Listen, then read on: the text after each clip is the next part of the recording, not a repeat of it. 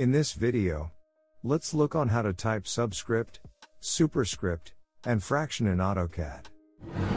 In order to make word or number into subscript, select the required part of the word, or number, and then add a caret symbol in front of it.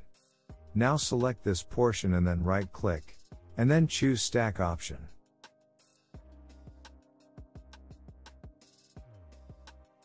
Similarly, in order to make word or number into superscript, select the required part of the word, or number, and then add a caret symbol after it.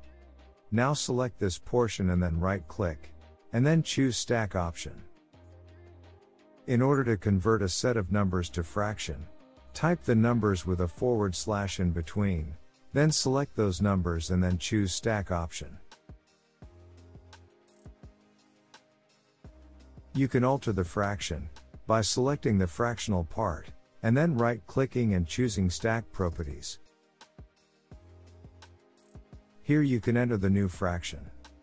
Thanks for watching. Do like and subscribe for more videos.